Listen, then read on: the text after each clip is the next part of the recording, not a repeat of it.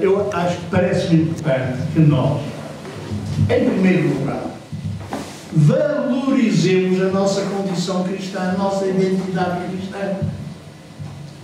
Porque senão, por quesílias internas da cozinha da igreja,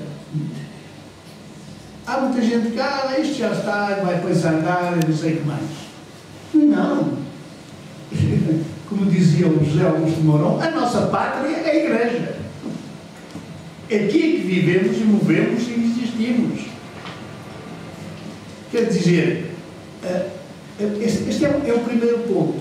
Depois, o desempenhar, o desempenhar funções, serviços na igreja, porque também a palavra ministério, como já está também deturpada pelos ministérios políticos, eh, também eh, as pessoas quando pensam em ministério também já pensam numa carreira.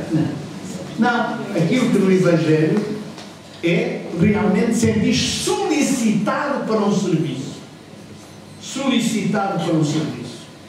E isso é muito importante, e é muito importante eh, eu, padres aos milhares, aos milhões, que venham, mas que venham com a pancada de servir.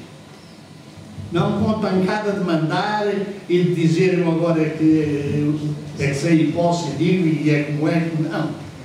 E depois, isso, lutarem porque dizer assim, mas as mulheres ao lado, por que não? Não sei se me faz entender. Tem de ser um trabalho de toda a Igreja.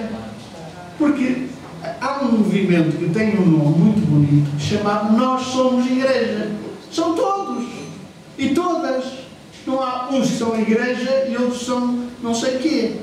Portanto, é necessário criar esse espírito de fraternidade esse espírito de fraternidade na Igreja Católica e, uh, e portanto, criar quase uma opinião pública dentro da Igreja, criar esse sentido uh, da democracia. Ora, as pessoas dizem, ah, é, é má hora, porque as democracias são tão desvalorizadas que, é, que não vale a pena falar na, na democracia.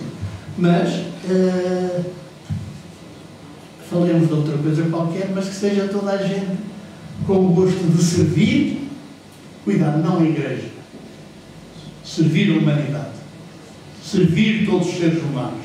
E este Papa tem tantos méritos, tantos méritos, tantos méritos, que é impressionante, que é a ida para as periferias.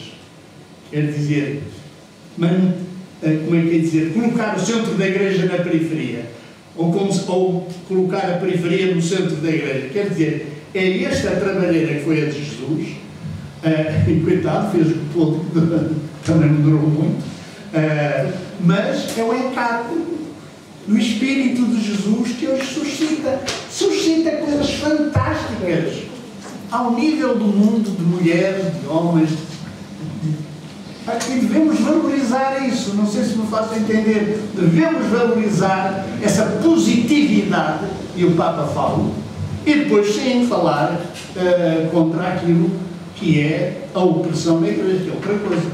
Mas não, não podemos ser aquela gente que está sempre a flagelar a igreja, não sei se me faz entender. Devemos é fazer isso. O Papa teve um trabalhão enorme, a começar na Curia Romana, não é? a renovação da curia, para o serviço. Mas as curias diocesanas, ai, minha vida, pronto.